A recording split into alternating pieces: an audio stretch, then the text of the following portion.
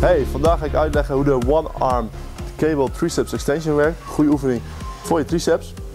Gaat als volgt. Wijs met je handpal naar boven, niet naar onder, maar naar boven. Vervolgens breng je je elleboog tegen je lichaam aan. Die hou je op één plek. Je laat het gewicht zakken naar beneden. Je brengt je elleboog niet helemaal op slot, maar je houdt een kleine buiging. Vervolgens breng je het gewicht weer omhoog. Dan adem je in.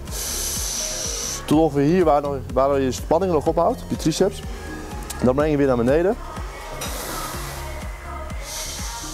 Wat belangrijk is, wat veel mensen doen als het te zwaar wordt, is dat ze hun elleboog gaan verplaatsen. Dus ze gaan zo doen.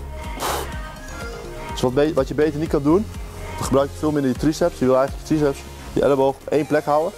Dus hou hem echt op één plek. Rustig zakken. Dat is de uitleg van de oefening. Tot bij de volgende oefening. Succes!